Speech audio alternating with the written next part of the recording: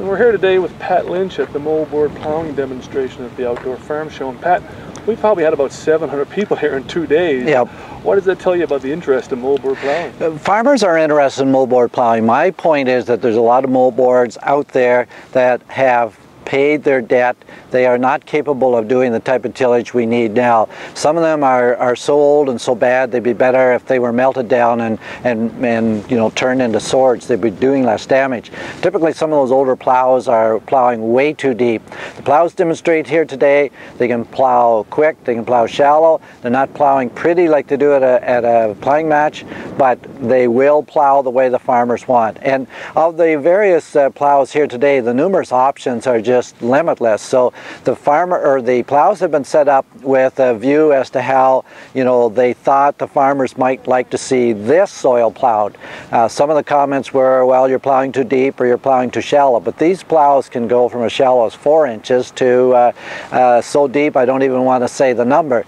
And and that is going to depend on the soil type and what the farmer wants, and especially as secondary tillage.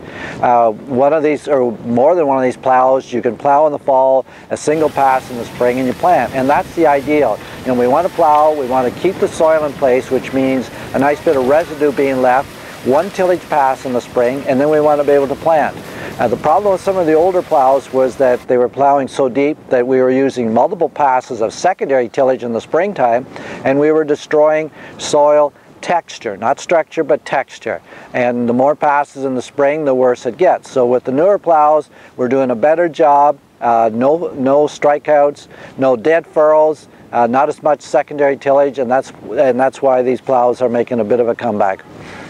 Final question for you. Um, any tips? You've seen a lot of plows in action in the last two days. Um, there, there are some. You got to work with the dealer and the setup. There are some concepts that I disagree with.